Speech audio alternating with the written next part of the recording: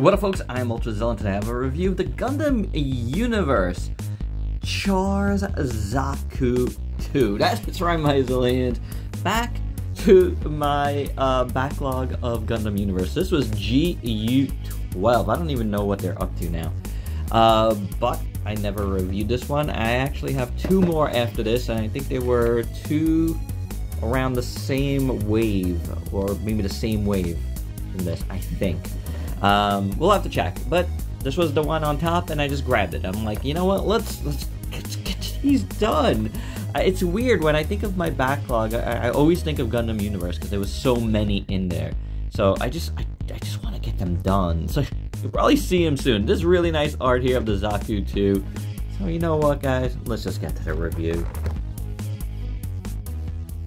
So here's the Zaku 2 out of the package. And let's do articulation first before I talk about anything. The head moves like so. The upper body moves. Uh, I don't think the waist moves, just the upper body. It's okay.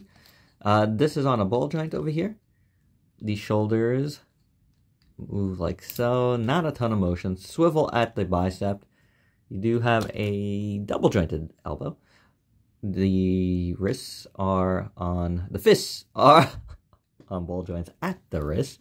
Then all of this stuff moves out of your way. This is on a ball joint too, by the way, over here. Uh, these stuff, these things move, so you could do that.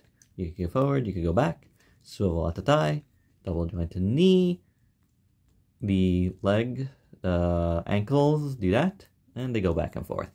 So there is your articulation. It's okay. It's, it's you know, it's fine it's fine. I, I don't got like anything really bad to say about it.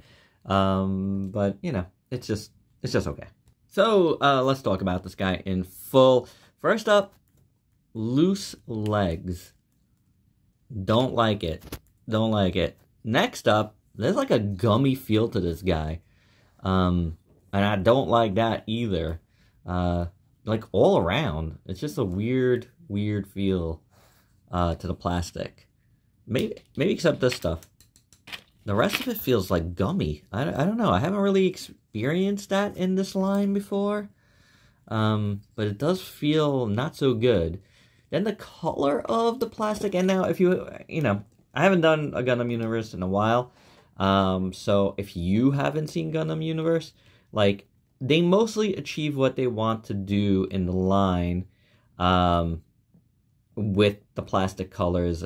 Very, very little paint. Like the paint here is uh, that dot, uh, that eye dot there, and it's not even um, perfectly centered, uh, which is a bummer. Uh, unless this thing comes off and and then you lose the top thing. I was gonna say that that thing uh, fell off of me once before, and now I gotta go find it. Alright, we're back. So he's got this spike here that comes out way too easy. I don't know why they did it like that. But anyway, I the, what I was getting at is the plastic color. Um, I do not like. It is very bland looking.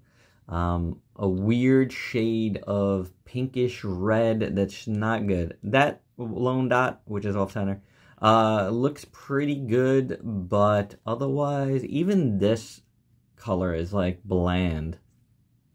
It's very, very not great.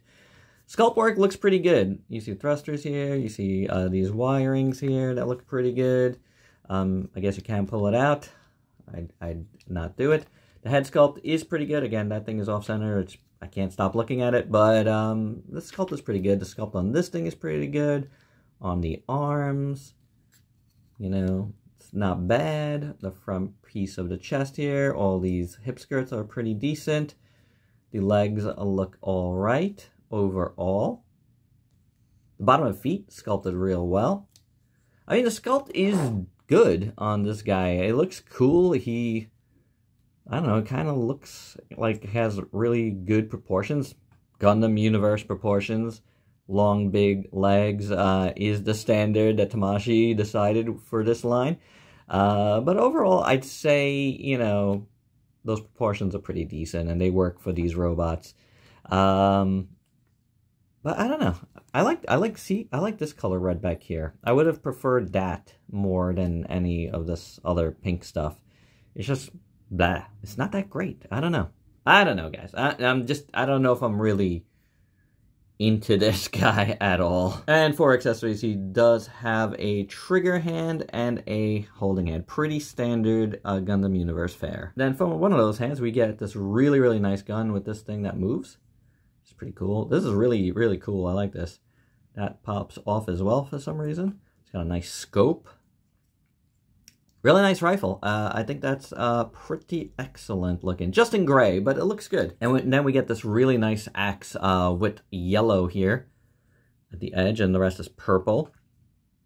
Really nice sculpt there. Uh, I believe, yes, there is a little hole here and there, should you want to attach it to his side, which I think looks pretty cool. Uh, if you're going to do it on the other side, then it's going to go like like that. But either way, I think it looks good there. And here's the Zaku 2, uh, Char's Zaku 2, uh, holding his rifle. And you can see he's holding that thing that came out, which is pretty cool. And here he is holding the axe, which is pretty cool. And um, it got me. Yeah, sharp. Woo! And for your size comparisons, I'm keeping this real simple with two other Tamashii uh, figures because I don't have any of the Gundam Universe stuff handy. Here he is uh, with Ultraman Blazar, and the recently reviewed Mecha Godzilla from SH Monster Arts. Final thoughts, well, it's, it's, I don't know, I don't really like it. It's not that great. I mean, there's probably a reason why I slowed down on these. It was just not like, not even slowing down on buying them. I mean, like, slowing down even on reviewing them. I was just like, getting bored, you know? Um, I don't know. It's just, I was so into this line at first, but not so much now. So we'll see how the last two uh, do it for me. Uh, I hope to review them soonish. We'll see.